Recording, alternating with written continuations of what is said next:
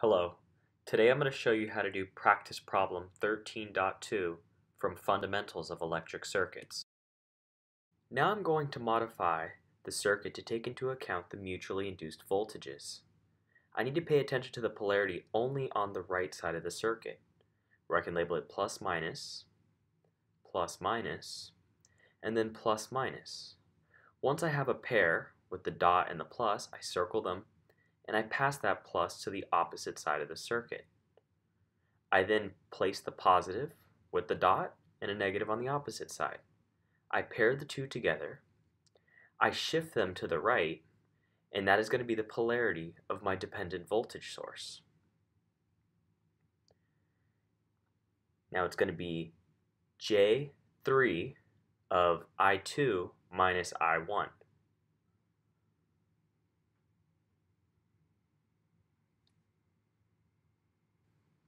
Now let's do the other side. I'm only going to pay attention to the left side of the circuit.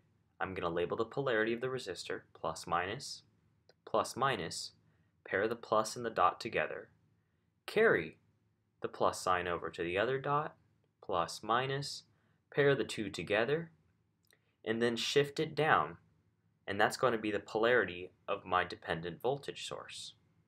The dependent voltage source is going to be J3 of I1.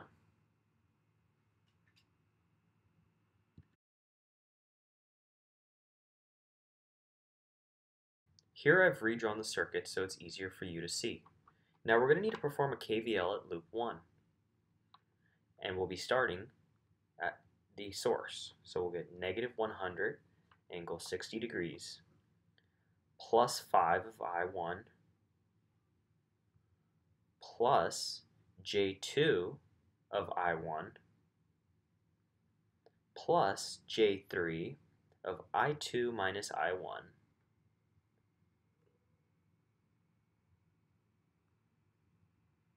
plus J6 of I1 minus I2.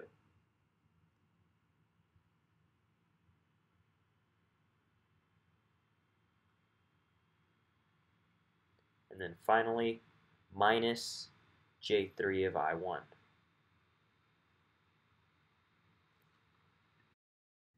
Now we can simplify this. We're going to get I1 times 5 plus J2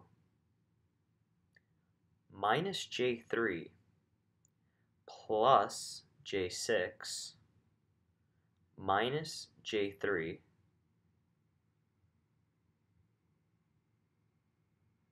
plus I2 times J3 minus J6.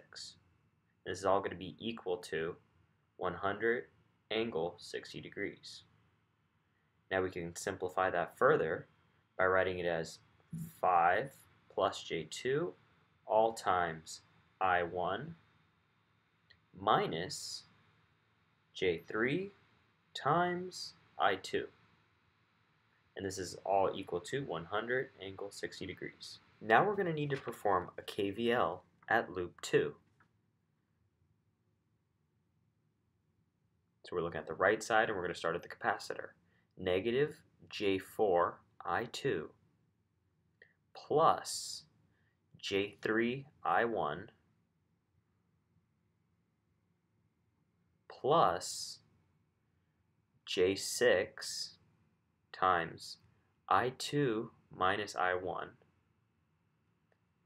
and that's equal to 0.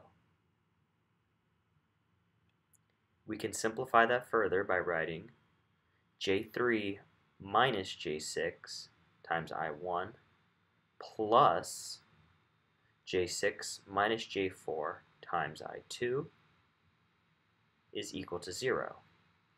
This simplifies to J2 times I2 is equal to J3 I1, and we can simplify this to I2 is equal to 1.5 I1. I've now rewritten the two equations for you to see. As you can see here, we have two equations and two unknowns. I'm going to substitute the I2 equation into the first equation. So we're going to get 5 plus J2 times I1 minus J3 times 1.5 I1 is equal to 100 angle 60 degrees. We can simplify that further by writing 5 plus J2 times I1 minus J 4.5 I1 is equal to 100 angle 60 degrees. This can be simplified further and be written as I1 is equal to 100 angle 60 degrees divided by 5 minus j of 2.5. We now need to convert the rectangular coordinates to polar coordinates using the equation r equals square root of x squared plus y squared, where x is 5 and y is 2.5. This is going to give us 5.59. We also need to solve for the angle, where theta is equal to the inverse tan of negative 2.5 divided by 5. This is going to give us negative 26.56 degrees. Written out in polar form, it's going to be 5.59 angle negative 26.56 degrees.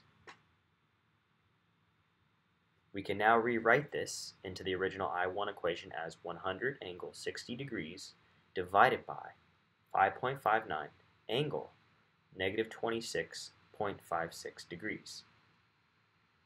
This will be simplified down to equal 17.889 angle 86.56 degrees. We now have I1 and if we recall from above, we found that I2 is equal to 1.5 I1. So with I1, we can solve for I2. So we get I2 is equal to 1.5 times 17.889 times, or 86.56 degrees. This I2 is going to be equal to 26.83 angle 86.56 degrees and of course the units are going to be amps. There's our I2 and there's our I1.